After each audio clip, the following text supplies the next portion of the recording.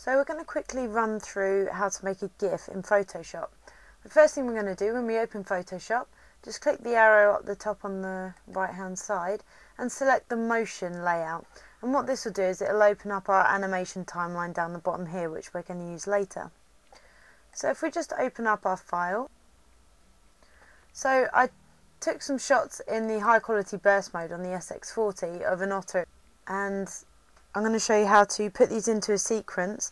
If you just look at the pictures quickly now, you can see it just sort of goes step by step like an action. So we're going to put that into a GIF so that we can play them back all in one go. So we're just going to drag the first one in the series into Photoshop and it'll open it out like a normal picture. And then clicking the next one in line and selecting shift, we'll click the last one, select them all and drag them in on top of that picture. And Photoshop will then import them into new layers as you can see here. And all we've got to do is click the tick at the top to say yes, import it. So we import that, import it. And it's going to do it for every single layer. So we have to do that eight times because there's eight pictures. But at least we don't have to do it manually ourselves. Photoshop's putting it all into layers for us.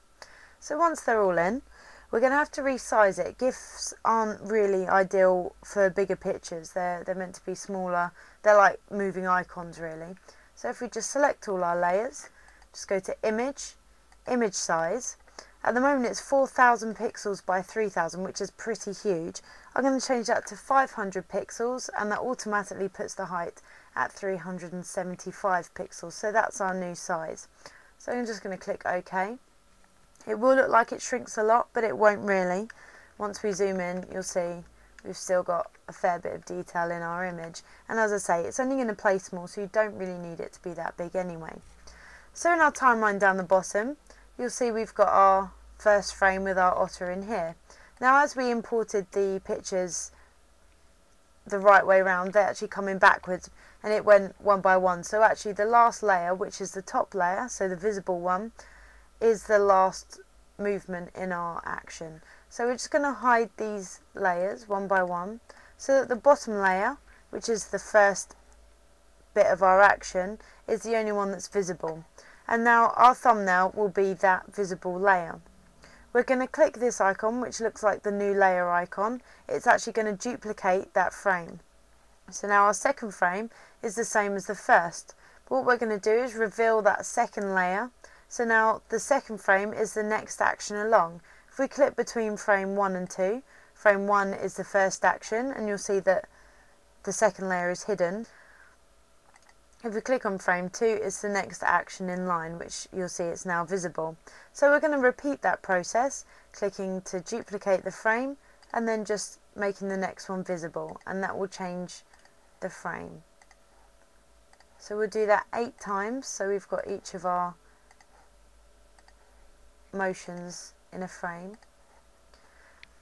And if we just hit the play button, you'll see they're playing back. And they're playing back pretty fast. That's a pretty fast action. So I don't really want them to go that fast. I'm going to select the last frame, hit shift and select the first frame and click where it says 0 seconds. You can do it on any of the frames. And I'm going to change it to 0.2 seconds. And that is changing the delay between each frame so that each picture lasts a little bit longer.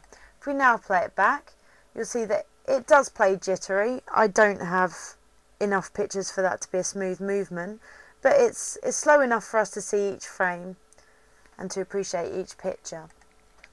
So now we've got our animation and our timing right, we're going to go to File, Save for Web and Devices, because that's basically where we're going to play a GIF. And you'll see that the colour quality is going to go down you'll see you get sort of patches of colour where it's um, it's got a limited palette but that's the way a GIF will look so there's nothing wrong with that. At the top you'll see it says GIF and if you wanted to change the image size you could do it here but it's easier to do it beforehand because everything plays back a lot smoother. Down here whether it loops forever or loops once so it only plays through once um, I usually have it looping forever but it's up to you. So I'm just going to save just call it otter and that will save that GIF. Okay thanks and I hope that helps.